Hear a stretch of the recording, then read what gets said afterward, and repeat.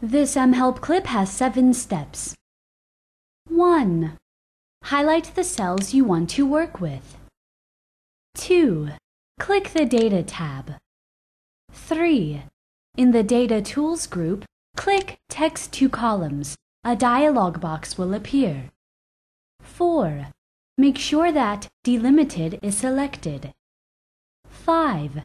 Click Next. 6. Under Delimiters, make sure that only Space is checked. 7. Click Finish.